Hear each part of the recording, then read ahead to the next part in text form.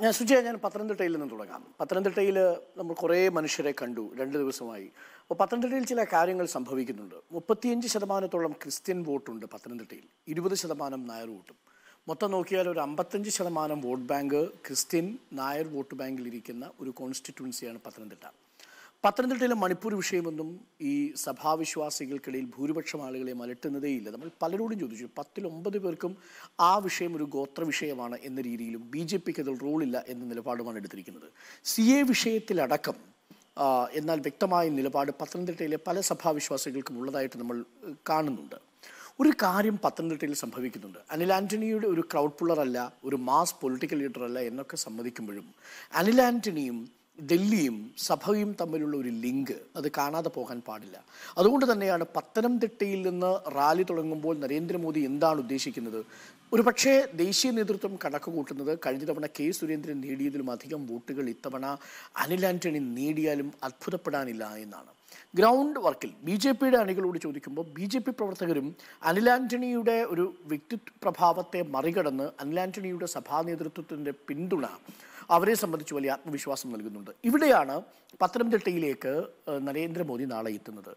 അത് പത്തനംതിട്ടയിലെ മാത്രമല്ല പത്തനംതിട്ടയിലെത്തി അതിനുശേഷം പിന്നീട് പാലക്കാട് പോകുന്നു. തമിഴ്നാട് മൂന്നിടങ്ങളിൽ പ്രചരണം നടത്തുന്നു. ആന്ധ്രാപ്രദേശിൽ രണ്ടിടത്ത് പ്രചരണം നടത്തുന്നു. തെലങ്കാനയിൽ മൂന്നിടങ്ങളിൽ പ്രചരണം നടത്തുന്നു. ഈ സംസ്ഥാനങ്ങളൊക്കെ കൂടി ഒന്ന് നോക്കിക്കഴിഞ്ഞാൽ കർണാടകയടക്കം. ദക്ഷിണേന്ത്യയിൽ മാത്രം നൂറ്റി ഇരുപത്തിയേഴ് സീറ്റുകളാണ് ലോക്സഭാ സീറ്റുകളാണുള്ളത്.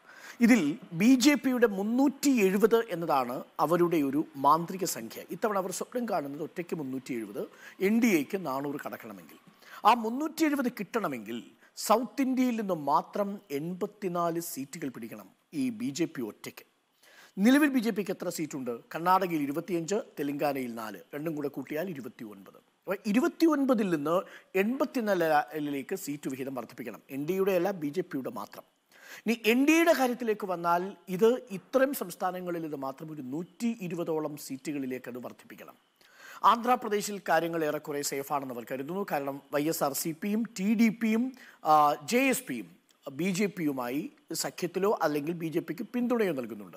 ആ, ജഗൻമോഹൻ റെഡ്ഡി ബി ജെ പിക്ക് പിന്തുണ നൽകുന്നു. ജെ എസ് പിയും ടി ഡി പിയും ബി ജെ പിയും തമ്മിൽ അലയൻസിലുമാണ്. അവിടെ ബി ജെ പി ഒറ്റയ്ക്ക് ആറിടങ്ങളിൽ മത്സരിക്കുന്നു.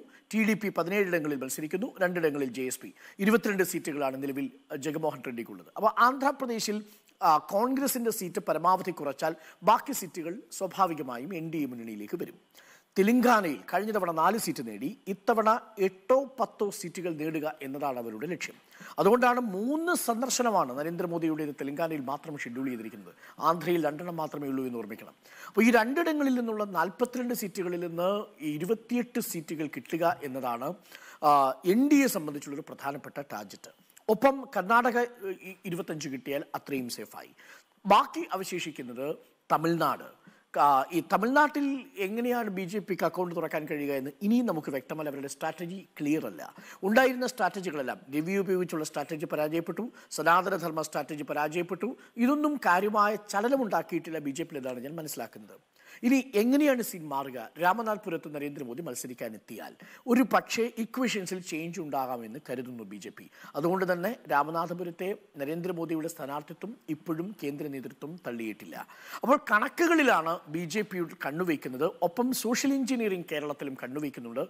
പത്തനംതിട്ടയിലടക്കം ഈ സഭാവിശ്വാസികൾക്കിടയിൽ വർദ്ധിച്ചു വരുന്ന ബി ജെ പി താല്പര്യം എന്നുള്ളത് നമ്മൾ എഴുതിത്തള്ളാൻ പറ്റാത്തതാണ്. അത് ഏതെങ്കിലും തരത്തിൽ ചർച്ച് ബില്ലിന്റെ പേരിൽ സംസ്ഥാന സർക്കാരിനെതിരായിട്ടുള്ള വികാരം യു ഡി എഫിലേക്ക് പൂർണമായും പോകുമെന്നുള്ളത് പത്തനംതിട്ടയിൽ ഒരു റൗണ്ട് നടക്കുമ്പോൾ നമുക്ക് അത് ശരിയല്ല എന്ന് ബോധ്യപ്പെടുന്നത് കൂടിയാണ്. അതുകൊണ്ട് പത്തനംതിട്ട തെരഞ്ഞെടുത്തു എന്നുള്ളതിന് വളരെ വലിയ പ്രാധാന്യമുണ്ട്.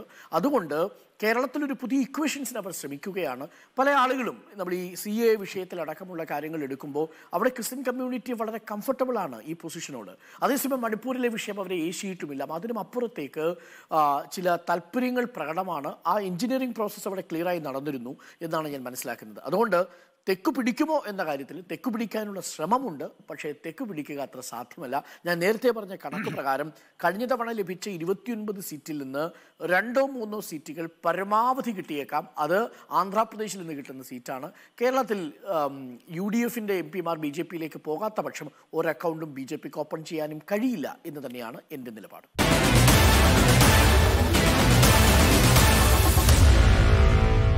Meet the editors.